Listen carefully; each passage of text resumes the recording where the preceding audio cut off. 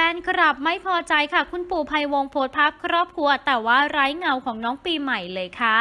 ยิ่งโตก็ยิ่งสวยตามคุณแม่ไปติดๆค่ะสำหรับน้องปีใหม่ ลูกสาวของแอปทักษะออนซึ่งถ้าใครที่เป็นแฟนคลับจะทราบดีนะคะว่าคุณปู่ของเราเนี่ยรักหลานมากๆค่ะแต่ ล่าสุดกับเกิดดราม่าจนได้แล้วค่ะ เมื่อมีชาวเน็ตรายหนึ่งเข้าไปคอมเมนต์ว่า คุณปู่ไม่รักหลานสาวแล้ว หลังจากที่โพสต์ภาพครอบครัวในวันตรุษจีน แต่ไม่มีภาพของน้องปีใหม่อยู่ร่วมเฟรมโดยชาวเน็ตดังกล่าวนั้นก็เข้ามาคอมเมนต์เอาไว้ว่า พี่ปีอยู่ไหนคุณปู่ไม่รัก พี่ปีใหม่แล้วเหรอทางนั้นคุณปู่ก็ตอบกลับว่าช่วงนี้โควิด เดี๋ยวซาซาปีใหม่คงมารับอ่างเปาจากปู่เอง งานนี้เนี่ยต้องบอกเลยว่าคุณปู่มีความให้ความสำคัญกับแฟนคลับ เป็นอย่างมาก เพราะไม่ว่าจะเกิดอะไรขึ้นคุณปู่ก็จะออกมาชี้แจงด้วยตัวเองตลอดเลยละค่ะ งานนี้ก็คงต้องรอติดตามกันค่ะ